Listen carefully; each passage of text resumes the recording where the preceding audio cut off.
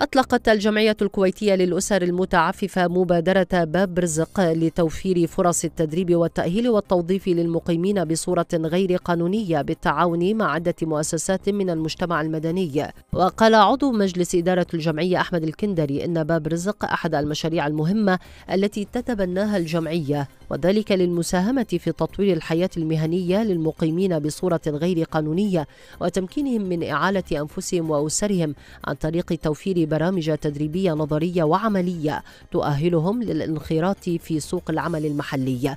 وأفاد الكندري أن المشروع يسعى للمساهمة بتعديل التركيبة السكانية بتوفير ما يحتاجه سوق العمل من خلال تقديم دورات تدريبية مكثفة للشباب من تلك الفئة. ومبينا أن الجمعية قامت بتوقيع عدد من الاتفاقيات والبروتوكولات مع بعض جمعيات النفع العام بهذا الشأن. مشروع مبادرة باب رزق. هو يأكد اللي هو رسالة وهدف الجمعية في تحويل اليد السائلة إلى يد منتجة. من خلال من خلال من خلال إخضاعهم لدورات تأهلهم في أنهم يدشون سوق العمل. وبالإضافة إلى اللي هو مشاركة بعض جمعيات النفع العام في أن يكون يكون التدريب عن طريقهم بعد ما يأخذون الدورات هذه في اللي هو الدور دور الاستشاريه أو مكاتب اللي هي راح تساعدنا في إنها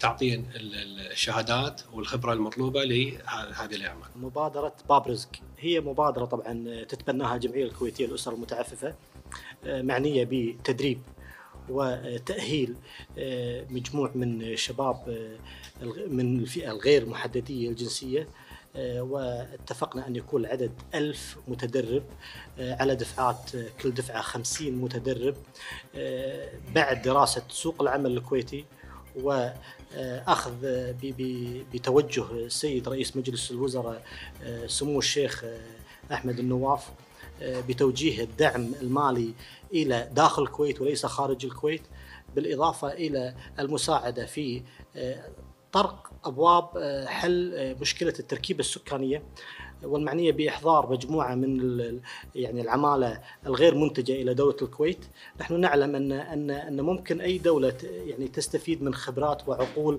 يعني وتجارب الدول الأخرى في الدولة ولكن نحن نتحدث هنا عن عن تجارب أو أو أو خبرات بسيطة جدا من باب مدخل بيانات أو طباع ومن غير المعقول أن تكون دولة تستورد أو تجيب شخص عفوا يشتغل كاشير أو مدخل بيانات أو الوظائف البسيطة اللي ممكن توفيرها من داخل سوق العمل. هذه بداية الخير بإذن الله أن يكون هناك تدريب وتأهيل لكثير من المستفيدين من فئة غير محددي الجنسية.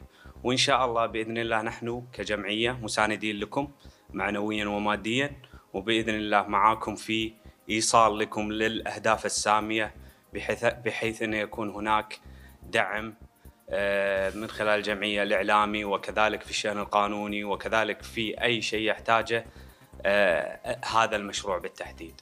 وإن شاء الله بإذن الله أن يكون يعني المستفيدين نراهم في سوق العمل ونرى الدعم الحكومي في هذا هذه المبادرة بالتحديد لأنها تبقى مبادرة إنسانية وتغطي جانب كبير من جوانب الاسر المتعففة بالكويت.